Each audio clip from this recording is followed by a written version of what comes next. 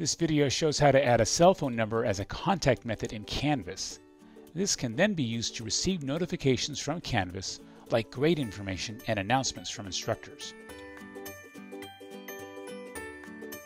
Begin on your Account Settings page, which you can access by selecting the Accounts link in Global Navigation and then select Settings.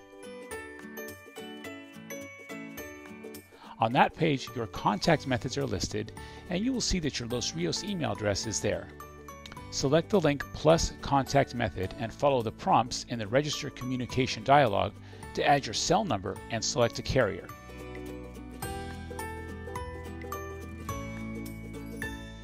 Select the button to register SMS.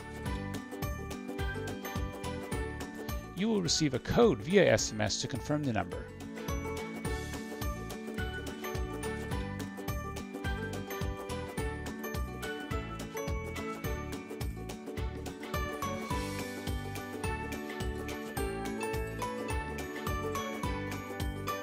Once you have confirmed your cell number, you can use that number to receive notifications from Canvas via SMS.